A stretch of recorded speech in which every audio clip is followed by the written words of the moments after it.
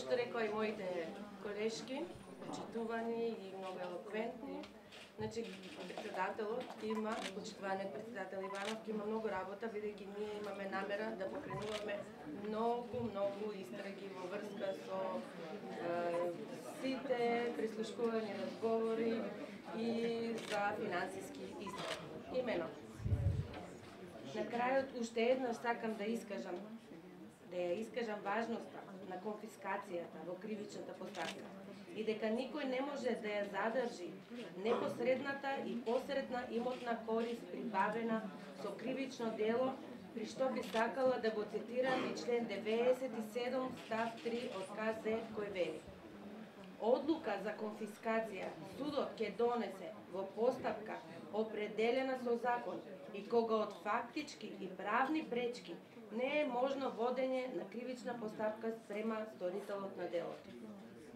Во однос ќе се приклучам и на прашањето што го говори мојата колешка за предметот Титаник, бидете сигурни дека ќе има проширување на таа истрага и во делот на финансиска истрага и во делот на други дела и за други лица. А, понатаму, ова значи дека и во случај на аболиција на сторители на кривични дела и постоење на правна пречка за водење на кривична постапка, Законска обврска на ова јавно обвинителство е да се обезбедат докази за прибавената корист, која согласно законот мора да биде конфискувана.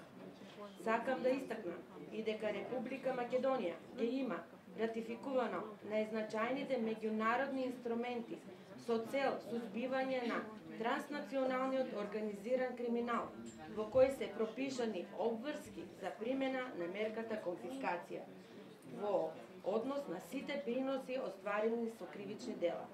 Тука би ги споменала Конвенцијата од Палермо 2000 година, како и Страсбуршката конвенција и Варшавската конвенција на Советот од Европа.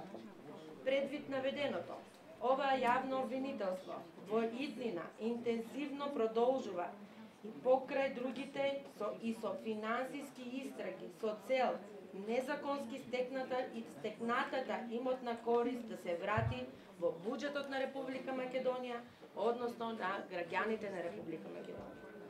Повторува дека финансиските истраги интензивно се водат во ова јавно обвинителство.